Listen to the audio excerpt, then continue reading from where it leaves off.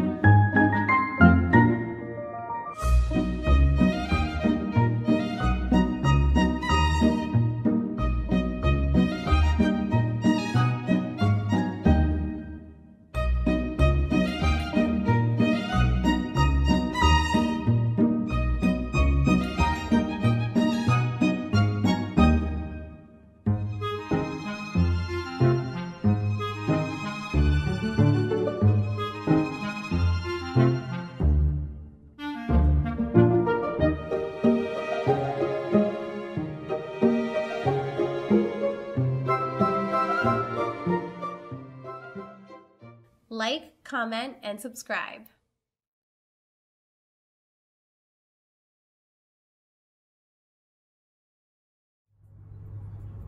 Wasn't that cool? You can see how they go from being eggs to a little bit bigger and almost looking like a tiny alligator. And then after shedding layers and layers of skin and shells, they become what we know to be a ladybug. Now let's talk about the anatomy a little. Every beetle has an abdomen and thorax. That's like our middle section. So that's where all of their organs are. All beetles also have six legs. Can you count with me? One, two, three, four, five, and six is hiding under here, okay? Six legs. They also have eyes, two, just like us. And antennae sticking right off their heads, two of those two. Now, what's special about a ladybug is that they have a lot of protection. Their wings are hidden under something called the elytra. So the elytra is a hard shell that protects them. If you see a ladybug laying on a plant, it has a flat bottom so it can stick on nicely and a rounded dome shape. That's the elytra, the shell protecting its wings and abdomen. It also has something called a pronotum, which is another kind of hard shell that protects its small head. So I thought it would be a lot of fun if we made our own ladybugs. That's your at-home activity this week, and I can't wait to see what you come up with.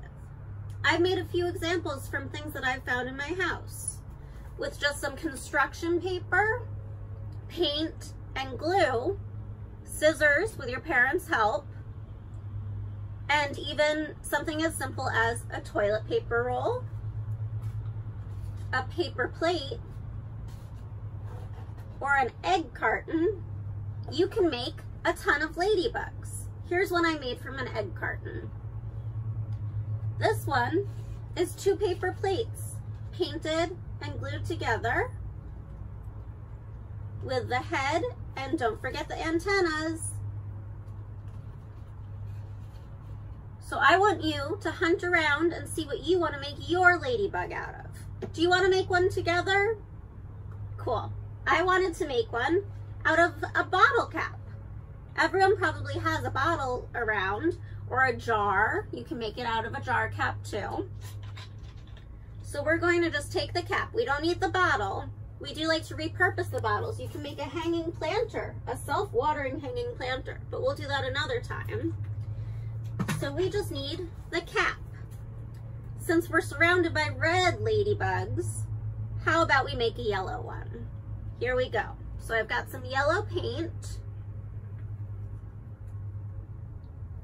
And we're just gonna put it right on our bottle cap.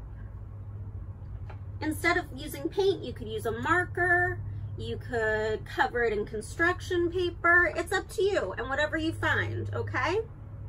So I'm going to use this itty bitty brush here and paint our itty bitty bottle cap.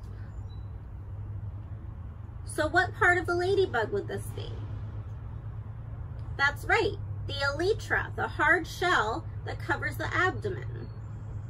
And just like an actual ladybug, it's flat on one side and then rounded.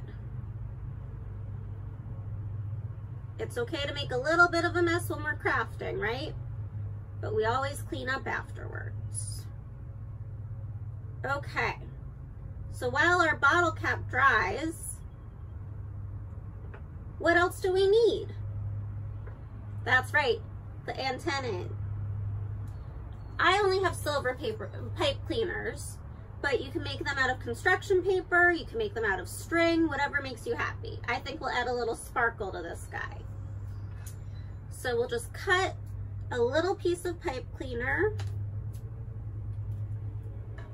and fold it in half. That makes for two. How about that? What else does our ladybug need? Since we're having its elytra closed, we don't need to make the wings, and it'd be tough to make such tiny legs. How about we add some spots? How many spots should this one have? I think two would be perfect. So I'm gonna draw here. At home, take your time and let the paint dry, okay? If you're making a similar one. I'm gonna draw a dot on each side, a line down the middle, and the head up top. Let's come close so you can see. Here we go. So once the paint dries, we'll make the, the spots darker and attach our antennas and we'll have a cute little ladybug.